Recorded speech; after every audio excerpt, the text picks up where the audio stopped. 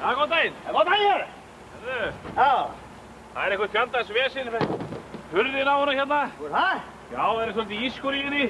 Stekka svo. Herru, Helvít þetta leiðilegt maður. Já. Ég er ekki, ég sá vera að pyrra hann á þessu já, maður. þetta er rosalega pyrrandi. Hörðu, Getur ekki gert eitthvað í fyrir mig? Ég geta liðka þetta eitthvað til fyrir því svona. Já, Allt er lægi hafa. er það ekki? Alls að fyrstu þetta svona. Hæ, Alls að fyrstu þetta svona. hvað ætlar að gera?